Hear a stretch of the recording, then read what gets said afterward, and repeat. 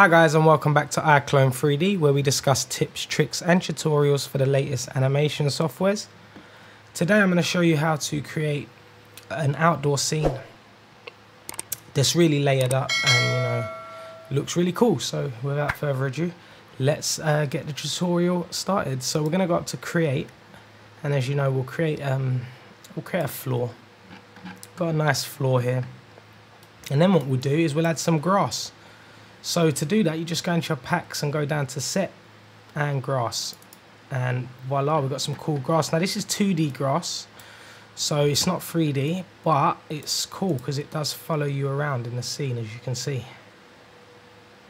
So, you know, it gives that cool kind of 3D effect. So um, not the grass we're looking for, so we'll undo that and we'll just scroll down, but they haven't got the grass we're looking for. So we're going to need to add a texture. Now, if you've got this pack, um, PBR 200, you'll know that you've got some amazing textures in there. And the great thing about them is they actually got to 4K, Substance PBR 200. Now, these textures actually go up to 4K. And, uh, you know, it's really, really cool because you can actually amend them as you go. So if we just type in grass, we can see we've got two um, different variations. And I like the plain one, so we'll kind of go for the plain grass. Now you can see, um, you know, it looks quite large. doesn't look um, accurate to scale. So we're going to just scale that properly. We'll go into our textures panel, don't forget. And that's how you kind of um, mess around with all your materials. And we'll go straight to our UV settings here.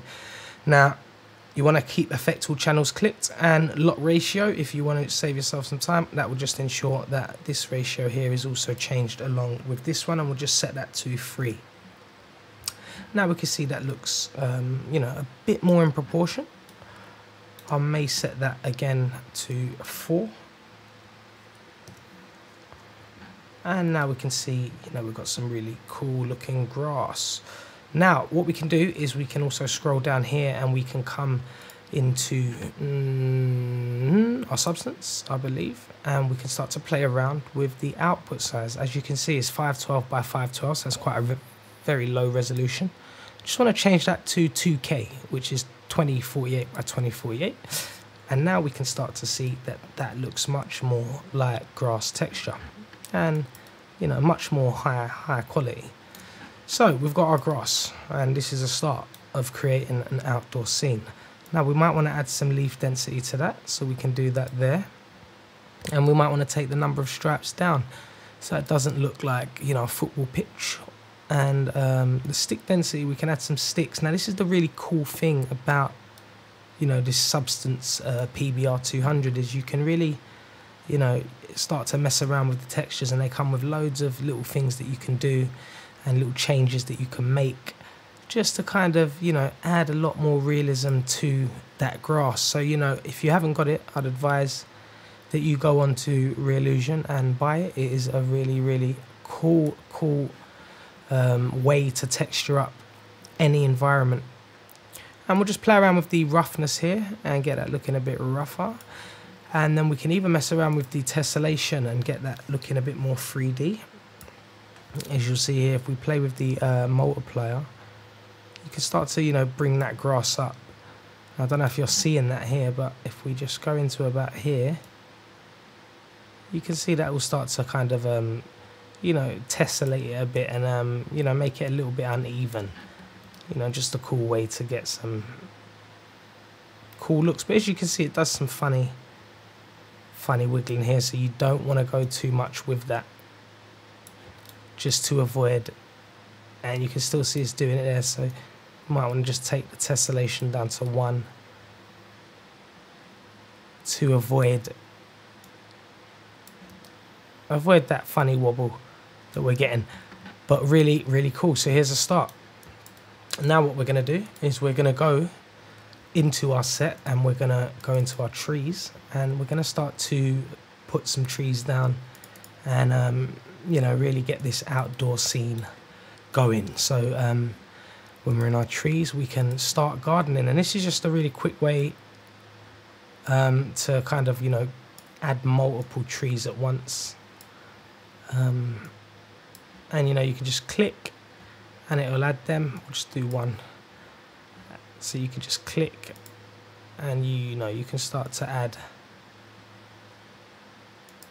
add some trees to your scene.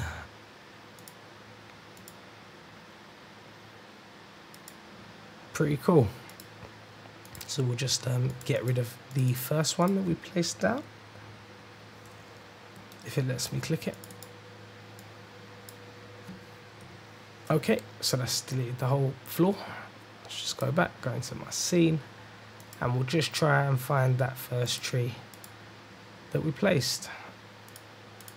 Which will probably take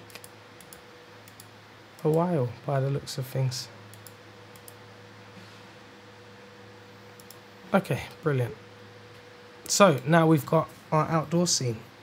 Not fully done yet though. So what we want to do now is just add some props and just, you know, uh, think of kind of uh, what we might might have outdoors. We might have a bench. Uh, let's get a bench. That sounds like it might work. Let's get a bench. So we'll just um, we'll just get a bench and um, we'll put a nice bench in that scene. If I can remember exactly where I put my stuff, bench.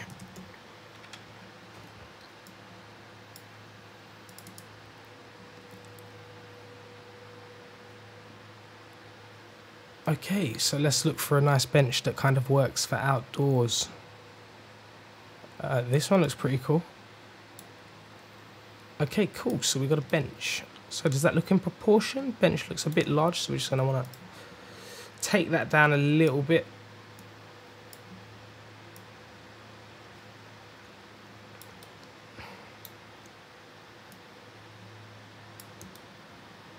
Start to make that look a little more in proportion. That looks really cool. Okay, so now we'll add, we'll go back into our content pack and um, what we'll do is we'll add a sky and then we'll swap out the sky um, for some cool some cool backgrounds to really kind of add some depth to the scene so you just go into your um, textures and your diffuse map and then um, you could just add add in one of these textures that may fit. So we'll keep that one there for now. Looks pretty cool. Now what we can do we can click on our floor and we can go back into our materials. And we just want to self illumination we just want to add some self illumination and yeah now we can really see that you know starts to look more natural and more like a natural bit of grass. Really cool. So now we have got our outdoor scene and we want to layer it up a little bit more. So what can we do? We can add some grass. So this is where we can use our 2D uh, plants, maybe add a few plants in the scene. Just get it looking really cool.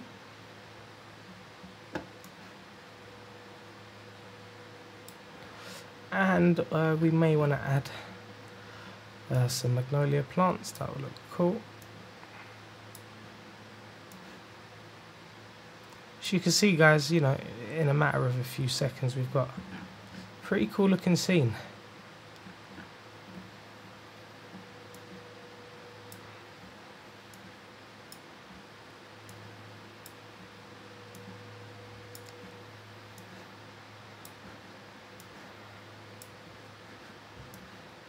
Okay, so now, now we've got a nice outdoor scene.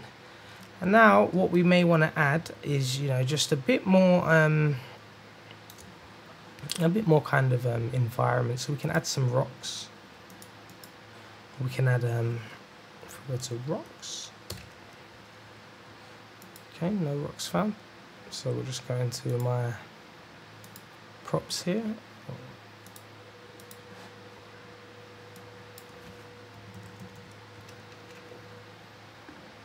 Just add some rocks into that scene.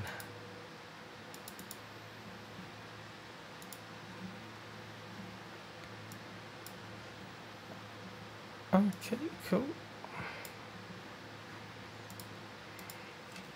We could just hit R and scale that down just to make it a little more realistic. And then we can hit W and position that we could just add a couple of rocks into the scene.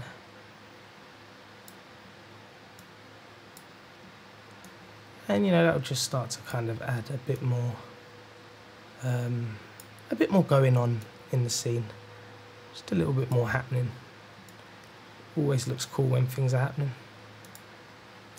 So, what else can we do to add to this scene? Right now we can click on our sky panel and we can go back on into our scene and click on our sky. And we can go back in the textures panel. We can add um, oh it's already got some self illumination so we can keep that as it is. That looks pretty cool. Now we can blur that a little bit if we wanted to or we can blur it a lot more. Uh, we'll leave that a little bit blurred. Looks pretty cool like that. Now we've got you know a pretty basic out outdoor scene. So what can we do now to add some more realism to that scene? Now we can take away the lights. If we go into our uh, scene panel here, we should see our lights up here. We could just uh, take them away and we can then turn back the key light on. Now the key light will serve as uh, natural sunlight. Um, doesn't seem to be doing anything here, so I'll just take that out and I'll add my own. Uh, I'll add a directional light. Sorry, the directional light will serve as a natural sunlight.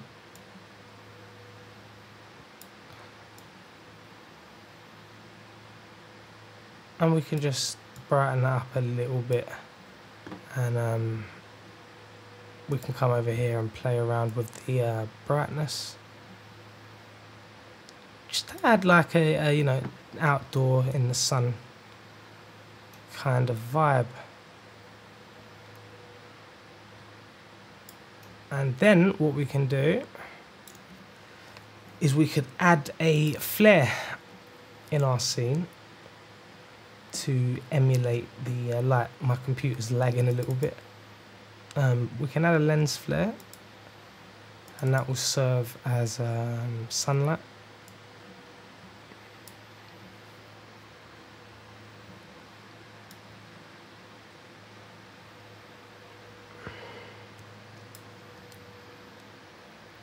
and we just want to get that all the way back.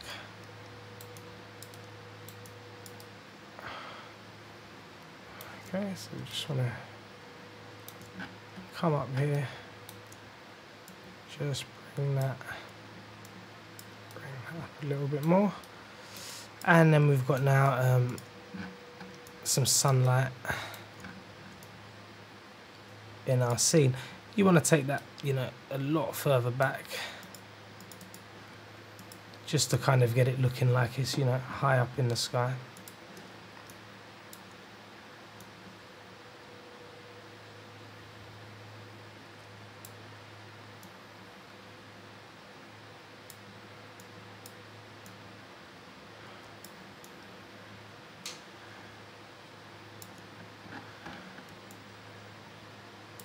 just have that there like that and you know now that looks like you've got some you know a nice sun beam going off in your scene.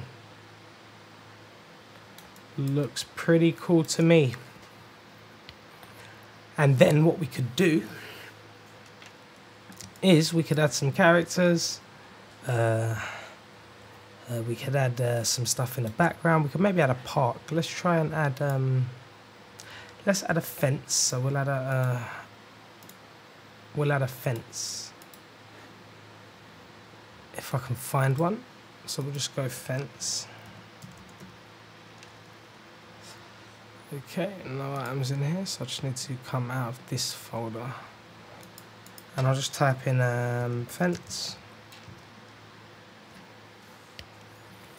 And um, we'll find a uh, cool fence to use. Um, see what one maybe suits the scene best. Maybe this one looks cool. It looks pretty cool. And we'll just add a fence and put it right there. and then we could just hold C uh, hold CTR control CTRL on your keyboard and drag and that'll duplicate that item and um, now we've got a cool looking fence in our scene and that just serves as maybe you know a barrier to the barrier to the outside world into the darkness. Kind of looks pretty pretty scary over these parts hey? Wouldn't want to hang out there on my own. So that's um that's pretty much kind of a cool way to you know create a quick outdoor scene. And um you know you could go you could go a few steps further and you know add some more props and you know whatever you feel like. And um we could add some effects. We could go to our popcorn effects and add um add some butterflies. That might actually that might look quite cool. So if you go into your set panel and go into particle that will bring up all your popcorn effects. And we can just look for the uh, butterfly effect which I believe is in here. And we could just add add some butterflies to the scene. Because who doesn't like butterflies? And maybe we can have them hanging around the trees. Maybe the butterflies are among the trees. Looks pretty cool. Right. And um, there we have a pretty cool outdoor scene. So we've got you know a nice fence to serve as like a you know a breaker between the um, the floor line and the background image. As you know sometimes it looks too sharp and a bit unrealistic. So you know that fence serves as a real cool way uh, to block that out. And we have a scene here. So just a quick tutorial on how you can create a outdoor scene uh, really hope that helps and hope to see you guys again soon for another tutorial